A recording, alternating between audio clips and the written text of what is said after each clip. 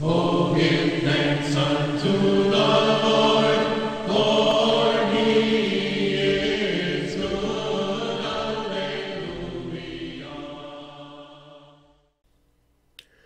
morning, everybody, and welcome to the Gospel Minute from St. Michael's Orthodox Church in Geneva, New York.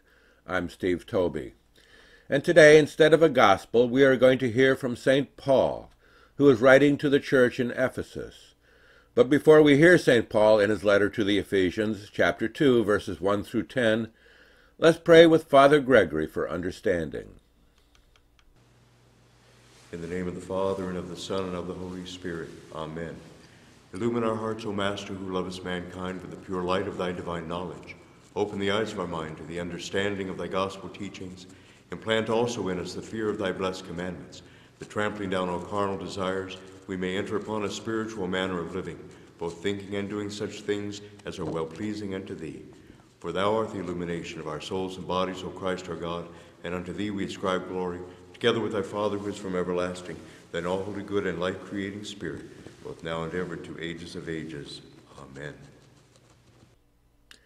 And now, St. Paul.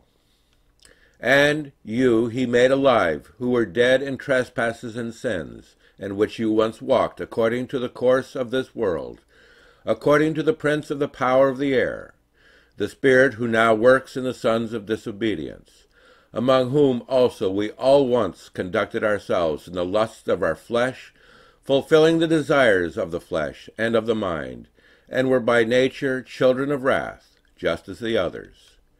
But God, who is rich in mercy because of his great love with which he has loved us, even when we were dead in trespasses, made us alive together with Christ.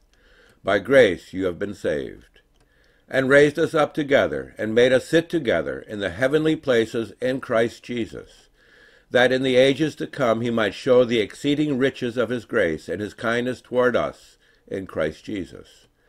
For by grace you have been saved through faith and that not of yourselves. It is the gift of God, not of works, lest anyone should boast. For we are his workmanship, created in Christ Jesus for good works, which God prepared beforehand that we should walk in them.